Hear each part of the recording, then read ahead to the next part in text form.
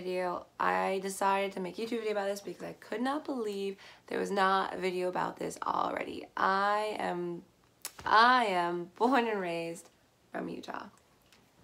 And Utah is weird.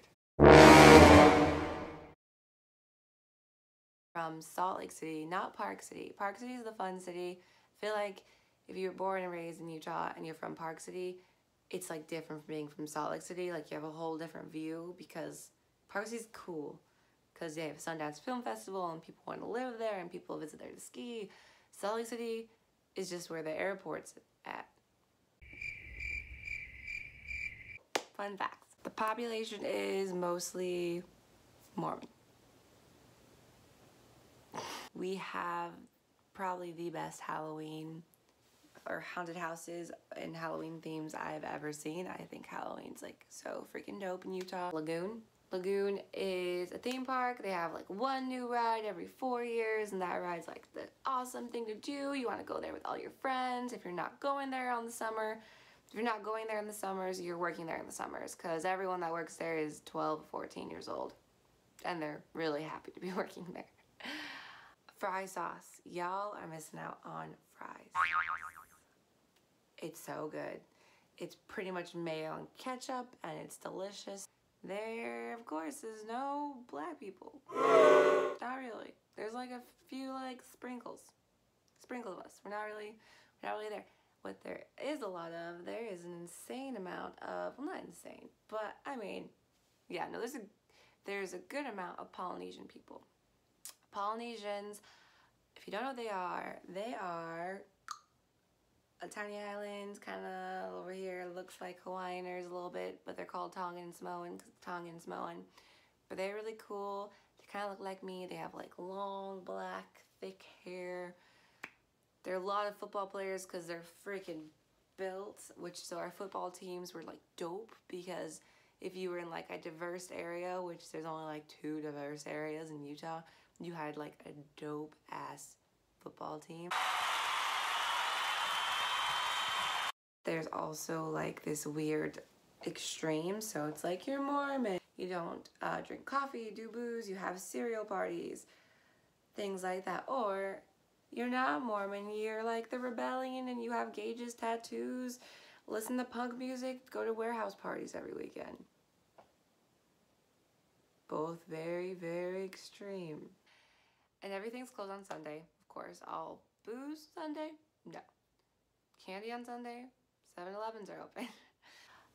everyone wanted me to straighten my hair. That was like a huge thing. So everyone wanted to straighten my hair. Yada, yada, yada, yada. Straighten your hair. Be like, your hair's so pretty. Why don't you straighten it? Your hair's so pretty. Why don't you straighten it? Your hair's so pretty. Have you ever straightened it? Yes, I have. It's a pain in the ass but I have done it. Thank you for asking. um, but no, I did straighten my hair for a very long time because I fell into the alternative scene, I guess you could say. So believe it or not, I straightened my hair and would flip my bangs and dye them blonde and the tips of my hair was blonde. And I did that for way too long. so homeless people, there's not Compared to New York, there's not a lot of them, but there is like a street full of them. It's usually like State Street or Redwood Road or somewhere downtown. And sometimes they chase you. It's usually because we have a huge ass meth problem in Utah. So everyone, all the hobos, all those people in Utah usually are meth, and that shit's scary. In New York, all the hobos are like chilling I'm like, y'all ain't scary. No one's screaming at me or chasing me down the road yet. You are yelling at walls, but at least not yelling at me. I mean, we're very cur uh, courteous drivers. Almost courteous that's like annoying. It's like, you go first, you go first, you go first, no, you go first, then you go first, you go first.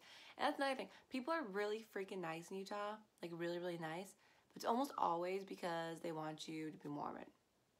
Like you'll have friends, they'll be super nice to you and you guys think you're like great friends. And they'll be like, do you want to come to my church? And then you say no. Or you'll be like, do you want to come to this party? with my church where we like do church things, but it's actually a party. You get there and everyone's trying to give you their Mormon, Mormonism, Mormonism, Mormonism is trying to make you into something you're not.